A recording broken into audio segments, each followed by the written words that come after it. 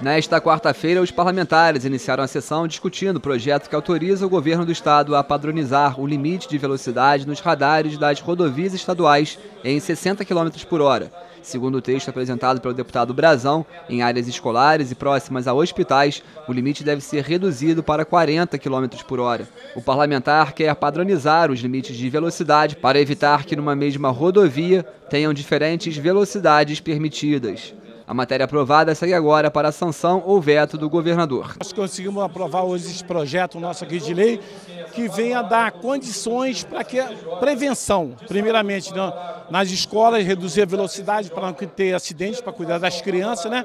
E nos hospitais também. É prevenção, é vida. Vida nos traz de volta. Cinemas do Estado podem ser obrigados a ter um percentual mínimo de exibição de obras cinematográficas de produção brasileira independente com o nome Cota de Tela Estadual, o projeto estipula um cálculo entre números de salas de cinema e o número de filmes. No caso de cinemas com mais de 16 salas, por exemplo, devem ser exibidos no mínimo 24 filmes brasileiros independentes ao longo do ano. A Secretaria de Cultura e Economia Criativa do Estado poderá buscar, junto à Ancine, o cadastro das produtoras brasileiras independentes, que podem ser contempladas pela lei. Estabelecimentos que descumprirem a norma poderão ser multados.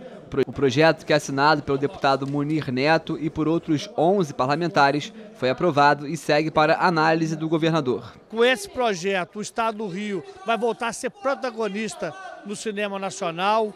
Vamos gerar renda e trabalho, cada um real investido no cinema, no audiovisual, volta três reais para a economia brasileira.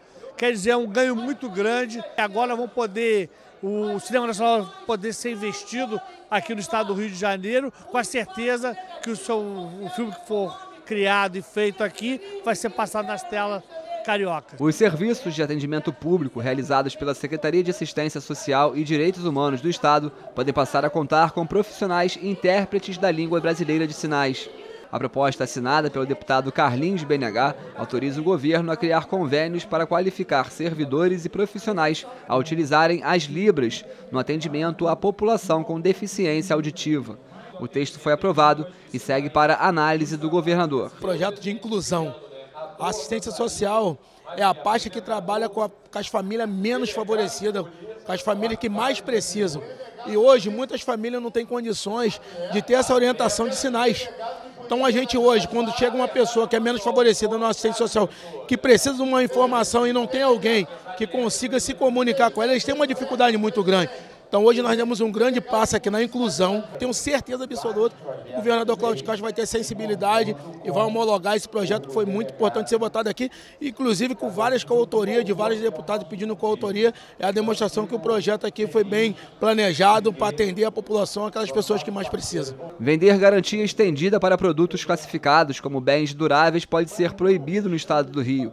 A proposta apresentada pelo deputado Luiz Paulo classifica essa prática como venda casada, o que é proibido pelo Código de Defesa do Consumidor. Segundo o texto, o próprio Código de Defesa ampara o consumidor nos casos de produtos que apresentam defeito após o prazo de garantia dado pelo fabricante. Nesses casos de vício de funcionamento aparente ou oculto, o fabricante já é obrigado por lei a fazer o reparo ou a troca do produto sem custos ao consumidor. O projeto também prevê a aplicação de multas aos estabelecimentos que descumprirem a medida. A matéria, aprovada em segunda discussão, segue para a sanção ou veto do governador. Ele proíbe a operação casada, é mais amplo do que a garantia estendida. A garantia estendida é um exemplo de uma operação casada, porque o consumidor ele vai à loja para comprar um produto.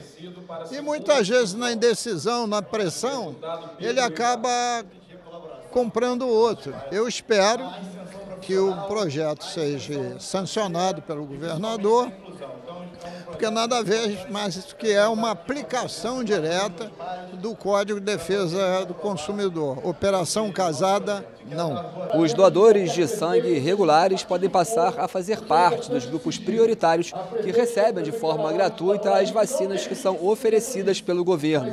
O projeto idealizado pela deputada Zeidan quer conceder esse benefício por entender que os doadores regulares exercem um papel fundamental para a saúde da população, já que são eles que ajudam a manter os níveis e os estoques dos bancos sanguíneos nos hospitais aqui do estado do Rio de Janeiro. A proposta foi aprovada em primeira discussão e vai precisar passar mais uma vez aqui pelo plenário. Um cadastro e censo estadual para pessoas com deficiência podem ser criados no estado do Rio. O censo PCD terá a finalidade de coletar e atualizar informações que serão utilizadas para direcionar e ampliar políticas públicas voltadas para a população com deficiência. O texto assinado pela deputada Tia Ju foi aprovado em primeira discussão.